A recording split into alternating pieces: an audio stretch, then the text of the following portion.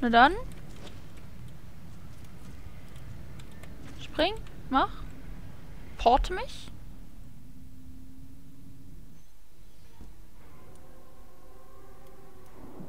Okay, also wir sind im Wasser. Da unten ist ein Buch, das wir lesen können.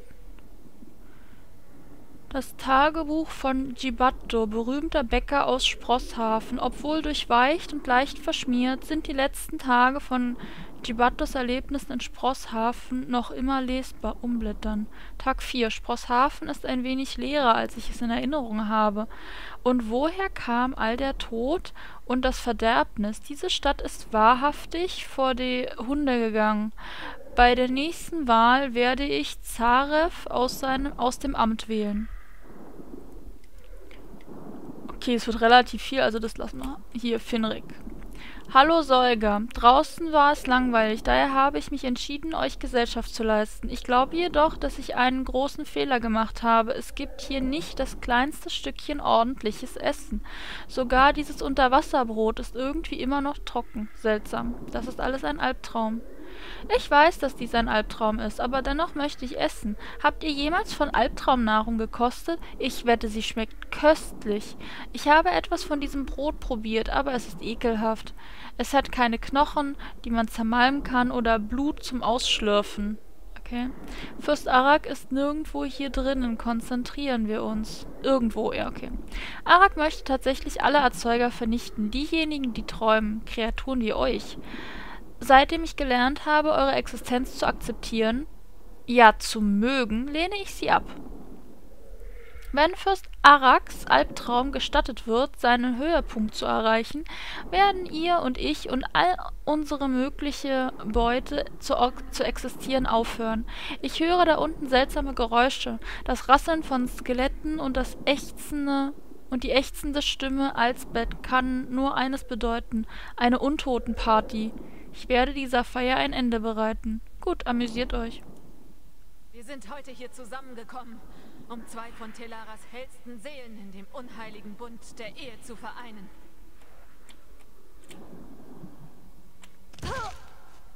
Ich liebe euch, Zarev.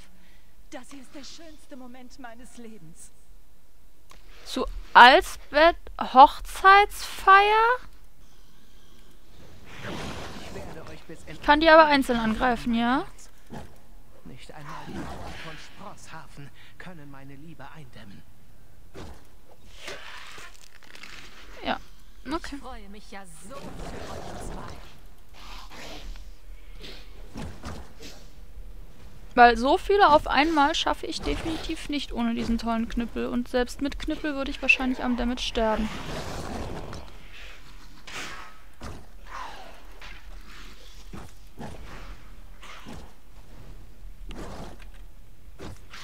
Aber jetzt 30 Viecher töten? Dein Ernst?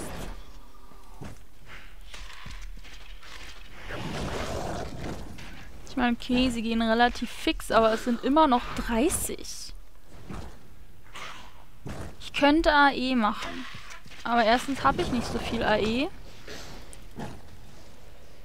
Und zweitens, ne?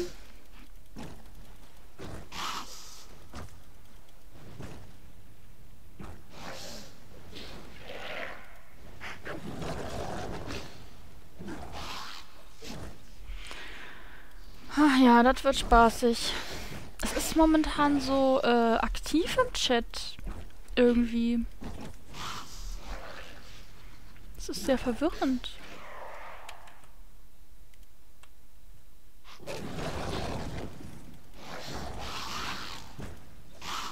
Sonst ist es immer relativ...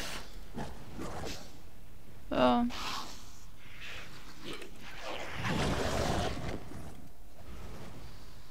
Relativ ruhig, ja. Schreibt kaum einer, macht kaum einer. Oh, oh. Oh, oh. Pet, wen zum Henker greifst du da an? Habe ich oh, oh erwähnt?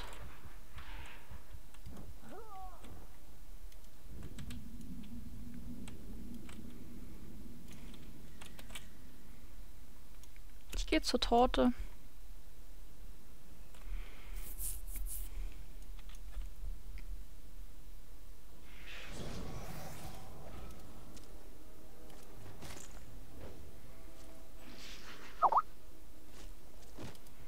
Alter Schwede, nee, nee, das ist nicht gut.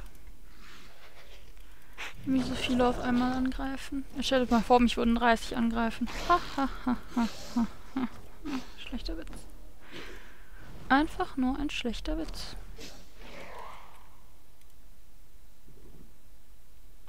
Jetzt fünf oder so. Neun. Na, herzlichen Glückwunsch. Das heißt, ich habe gleich ein Drittel geschafft. Je.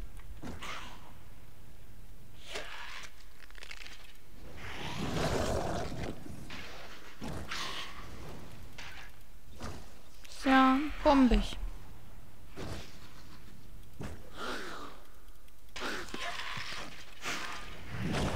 Glaube, ich mache die Quest fertig und gehe dann was essen, weil ich habe echt Hunger gerade. Na, ist ganz gut. Dann kann ich auch gleich Wäsche anmachen, den Geschirrspüler.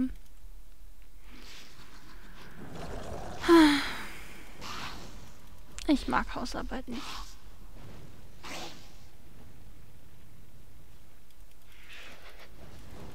Okay, wer mag es? Wobei, es gibt wirklich Leute, die machen gerne Hausarbeit. Ich verstehe nicht warum. Es ist anstrengend. Es ist, ohne es böse zu meinen, unproduktiv, ja, weil gerade wenn du Katzen oder Hunde oder sowas hast, dauert keine Stunde, ist der Teppich wieder voller Haare. Das ist so, weiß ich nicht. Ist, ich finde es demotivierend. Also wenn du Ordnung machst und sauber machst und dann ist alles ordentlich und sauber und bleibt so, gut, kann ich mit leben. Aber wenn du Ordnung machst und sauber machst und es ist nach einer Stunde genauso wie vorher gefühlt, ist das so... Äh. Naja, egal. Ich noch irgendwas Tolles zu erzählen?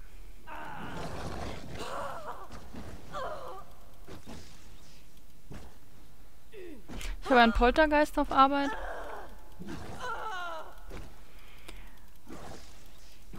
Mein Chef äh, hat eine Tür, die sich selber abschließt. Keiner fest die Tür an, auf einmal ist sie abgeschlossen.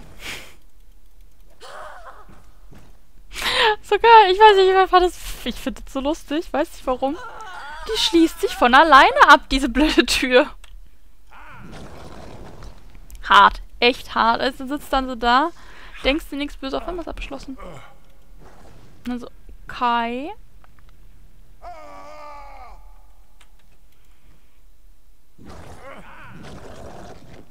Was hat der geübt? Äh, dramatisches Sterben im Theaterkurs Grundschule oder was?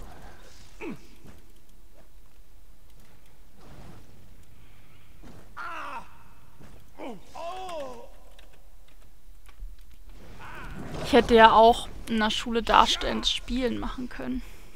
Anstelle von Kunst und Musik.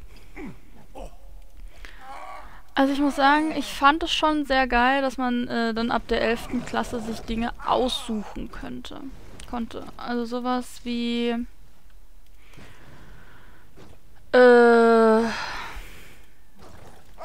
sowas wie, ob du äh, Gesch nein, Geschichte musst du so nehmen. Ob du Erdkunde, Philosophie oder war das dritte? Da war noch irgendwas, was man dann nehmen konnte. Weiß ich nicht mehr. Oder ob du Kunst, Musik oder darstellendes Spiel machen möchtest. Welche Sprache du machen möchtest. Also du musstest eine zweite Sprache machen. Du konntest entweder Französisch bzw. Russisch, was du ab der siebten hattest, weitermachen. Oder halt äh, eine neue Sprache beginnen. Oder halt, wenn du ab der 9. Latein genommen hast, was ich definitiv nicht gemacht habe, weil ich bin ja nicht blöd. konntest du dann äh, halt Latein anstelle von Französisch nehmen. Das hat dann gereicht quasi. Also ich finde es gut, dass man sich das dann aussuchen konnte. Und wenn man gesagt hat, okay, äh, ich mochte jetzt Französisch nicht so, ich möchte doch lieber zu Russisch. Oder ich mochte Französisch nicht so, ich probiere es mal mit Spanisch. Ging alles, war in Ordnung, konntest du machen. Und das fand ich ehrlich gesagt sehr geil. Da war ich großer Fan von. Vor allem, weil ich Kunst abwählen konnte und Erdkunde. Also, ich, ich bin nicht gut in Geografie. Also, ich kann alles Mögliche, aber Geografie. Mm, mm, mm. Merkt mir nicht. Genauso wie Geschichte, aber Geschichte musste man behalten, was ich sehr ätzend fand.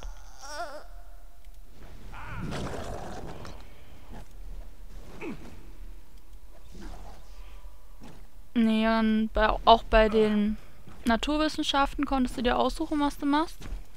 Meine Hochzeit. Ihr habt meinen perfekten Tag ruiniert. Dafür werdet ihr teuer bezahlen. Äh. Okay. Fand ich natürlich sehr geil, dass du dir aussuchen konntest, was du machst. Weil, ähm, Bio hatte ich nicht mehr ordentlich seit, lass mich nicht lügen, der sechsten Klasse. Also der Lehrer, der, den wir hatten, der war eine Katastrophe. Also ganz ehrlich, wenn man im Biounterricht irgendwas über Karl den Großen lernt, wie er über die Alpen gewandert ist, leicht am Fach vorbei. Äh, Das ist halt grauenhaft. Ich, ich mochte ihn auch nicht. So ein eingebildeter Gockel, ganz ehrlich. Na, okay. Ich habe ihn irgendwie überlebt. Irgendwie. Vor allem das Tolle war, auch die Lehrer konnten den nicht leiden, ne? Und der war Direktor. Die Lehrer konnten den nicht leiden. Allesamt nicht. Und, ach, nee. Okay, gut. Und, ähm...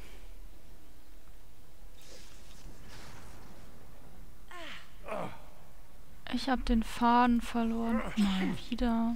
Das ist so ätzend ab und zu. Das, also was heißt ab und zu? Ich, mir passiert das irgendwie öfters. Ähm. Naja, jedenfalls. Äh, Bio, okay, ich habe nichts gelernt. Was will ich da weitermachen? Chemie hatte ich die ersten zwei Jahre eine sehr gute Lehrerin. Also da äh, habe ich einiges mitgenommen. Und dann war Lehrerwechsel. Und der Typ, der konnte nicht unterrichten, den konnte ich als Typ nicht leiden und, äh, weiß ich nicht, seine Klausuren waren irgendwie alle seltsam. Also bin ich spontan von 1 auf 3 auf 4 gerutscht und, äh,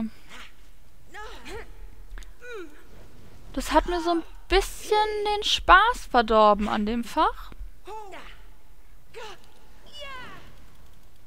Und dann gab es halt noch äh, Informatik. Und Informatik war ich schon immer relativ gut.